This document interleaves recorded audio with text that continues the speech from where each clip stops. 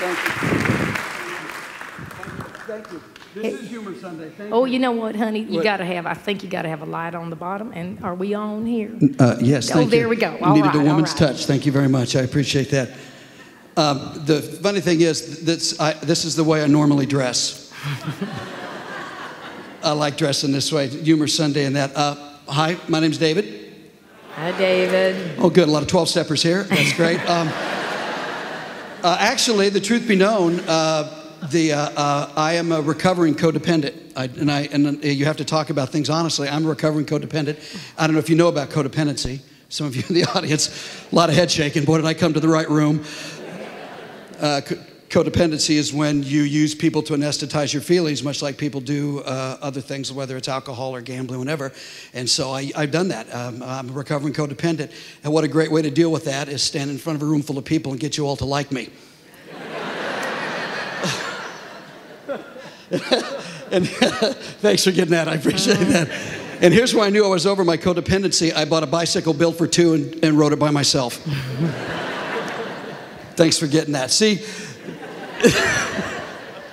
there's an amazing distinction going on today. And I was talking to Duke about this. Uh, the ghost of Duke. He's somewhere here. I don't know where.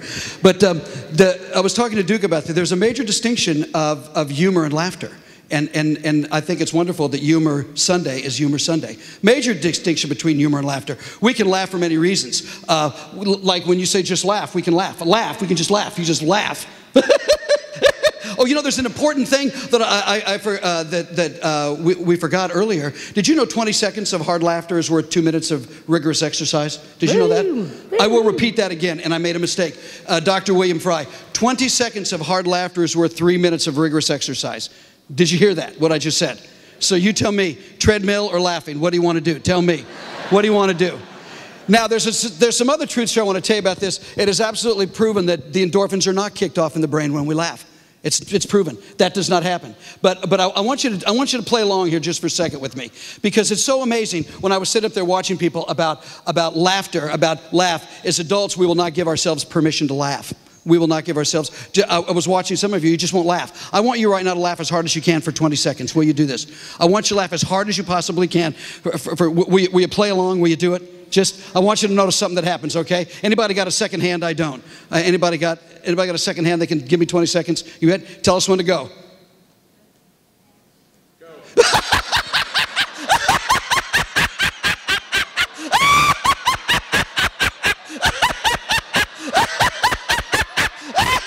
Let it rip.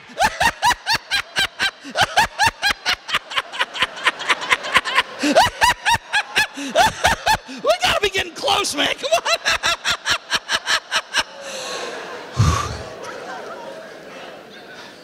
It's not the endorphins kicked off in the brain. I want you to appreciate the oxygen coming back into your brain.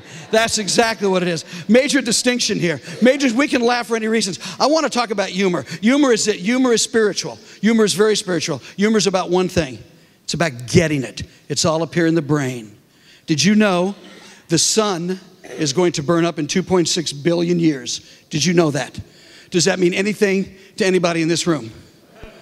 I'll tell you what that means to me. That means they're going to have to solve that Middle East conflict in the dark.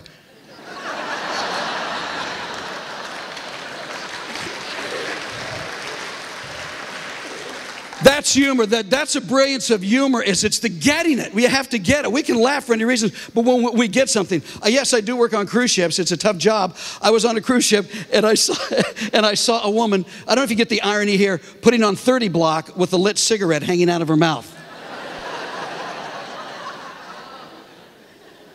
So it's the getting it. It's, it's, it's the getting it of, of, of the humor that, and the spiritual. And here's why I think it is for this reason. I'll just cut to the chase. And I'm going to talk about some things the next few minutes are going to make us uncomfortable. And it's not my intention to make us uncomfortable. Never my intention to make people uncomfortable. But I've been on an amazing journey since I started in this room. And one of those journeys I did with Duke. And, uh, and, and when I was asked to perform, that's not right. I was, not asked, I was asked to eulogize a woman named uh, Dorothy Ellison. Rick, are you here? I'm not sure if Rick is here or not. It would, uh, Rick Ellison was his mom, and Rick, uh, um, our, our eulogy, and Duke was there, and this was at um, uh, uh, Mount Moriah over on Holmes, and we're standing there, and there's Dorothy, and then I'm, I'm. And as a comedian, I performed everywhere. I mean, everywhere. everywhere. You're looking at the guy that, that entertained uh, uh, uh, Steppenwolf at the Uptown Theater. Steppenwolf. I don't know if you remember Steppenwolf. These are bikers. These are bikers. I took one foot on that stage and I'm getting F bomb like you can't believe. And I stayed up there and I, and I was more scared that day when I did that Dorothy's funeral because it was real, it was honest. Plus, there was somebody in a casket. I did ask him to shut the lid because I, they, they, and they said, why? And I said, well, I performed for a lot of dead audiences, but never anybody literally. So if you wouldn't mind. I mean, these are not jokes. I really said that. So, right before we, they started the service, Duke Tufty comes up to me. I've known Duke for years, and he comes up to me, you know, as solemn as Duke can be with that wonderful sense of humor. He just looks at me and goes, David, this is going to go really good or really bad. And I'm glad I'm not you. And he walks off. I'm standing there ready to, I'm standing there ready to, um, uh, go out before they, inter- they introduce me like it's a show, and I'm standing there, and the funeral director recognizes me from doing stand up comedy, and he looks at me right before I walk out and goes, What are you doing? are you going to do a show?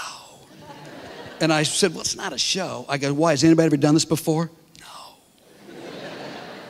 so I went out. I did it, and something magical happened, and I noticed that day. And I learned this from a guy by the name of uh, Rabbi Alan Cohen, who used to be the rabbi at uh, Beth Shalom. He said at a funeral, what people want is to evoke a pleasant memory, to talk about something that's a pleasant memory. Boy, I see a lot of head nods on that one. To evoke a pleasant memory. And that's all I did. We talked about Dorothy. We talked about Dorothy when she was 80 and her 81 year old sister going to strip clubs in Bourbon Street. because that was Dorothy, and to eulogize the funny things she did, not to talk bad about her, but to do that. And that got me going on death, the subject that nobody wants to talk about. You don't want to hear about it. We don't want to talk about it. But yet, is there humor there? I teamed up with three hospices Kansas City Hospice, Olathe Hospice, and St. Luke's Hospice. I'm going to ask you right now to think completely different. Just the mere mention of death scares us. But are there funny things that happen? Cancer is not funny, agreed? There's nothing funny about cancer. Are there funny things happen in the treatment of cancer? Yes. Boy, I heard a big yes over there. And that's what, obviously, it's happened to you, right? Yes, so you just know. It, it, it, happens to you. So you have to pay attention to that. There's honest, funny moments, and that's what we have to pay attention to. I was asked to perform at the Allison Taylor Holbrook Foundation in, in San Francisco. This is a breast cancer uh, uh, uh, uh, group, and I was asked to perform in front of, of folks, and I was nervous too because was, these were real people in real pain. And I, I didn't realize men and women both get breast cancer. Did you know that? I didn't know. There's a guy here in town. We all know him. He used to run Blandy's in Westport, Dick Schulte. Dick Schulte had uh, breast cancer. He had a mastectomy one week. His wife could not handle his, his uh, uh, having cancer, and she divorced him the week before. She divorced him. He had a mastectomy. His joke was, I lost three boobs in two weeks. That was his joke. Funny? Funny? Yeah. Okay to laugh at that? You bet. Okay.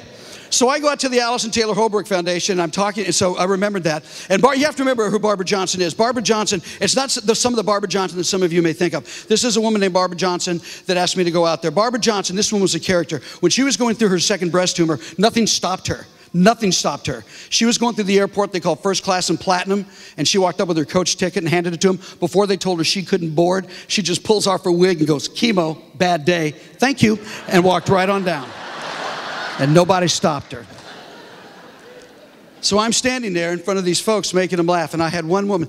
This is one of the most poignant things, two poignant things happened there, but one of the most fascinating things that happened to me. While, I, while I'm doing the presentation there, I noticed a woman get this visibly upset, gets up and leaves. And I was really upset, and I asked Barbara, because, you know, when you first start off as a comedian, and, you know, silence is not a friend to a comedian. People staring at you is not a friend to a comedian. My whole way that I get, my poll, my surveys, is I say something, you laugh. That's it. But I didn't realize a lot of people were taking it in and thinking while I was talking. And this woman got up left, and I asked Barbara, I said, that, that really bothered me. She goes, David, don't. Some people aren't ready to laugh. Some people aren't ready to laugh, and that's okay. You got to keep talking about it. You got to keep doing it. This woman comes up to me afterwards, and th- this is the most poignant thing I've ever heard. By the way, I must say this. I know this is a very diverse group, but I've never entertained in front of a dog before. I just, I just, I, I have absolutely no idea. I, I don't know. I don't know if I just. I don't know what I say. If I stop, I guess I'm not doing good if he lifts his leg. I guess I don't know. So can, can you do a, a, lift the leg joke in church? I don't know. Um, I don't know, but, but I guess I just did. Uh, by the way, uh, l- let me use my wonderful ADD personality. I just got rid of the squirrels at my house if anybody's interested. Uh, do you have problems with squirrels at your house? Um, I love the little things. A buddy of mine goes, Why don't you get a 22 and blow them away? Well, you may, may want to try anger management. Um, I don't want to kill the squirrels. I just want to let them know who's in charge. So I came up with something, and I don't want any letters from PETA anybody. This didn't really hurt him, but let them know I was in charge. I went to the dollar store and bought that stuff, Pop Rocks. Have you ever seen Pop Rock? That's, that stuff explodes and it doesn't really hurt them, but it's so funny to see him climb a tree and just. and then another one goes to eat it, and the other one grabs his tail and goes, Don't eat that stuff, man. I've been on Prilosec for three weeks. Stay away from that stuff. That, the hat almost fell off. Okay, I'm just going to stop here just for a second. My daughter, my daughter's in the spa business, just the wonderful Rachel, said, Dad, do something with the hair. So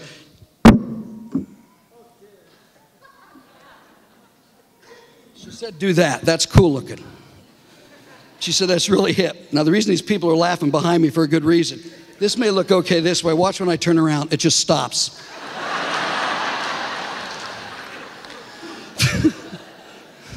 That's why I wear the hat. You got to laugh at yourself, folks.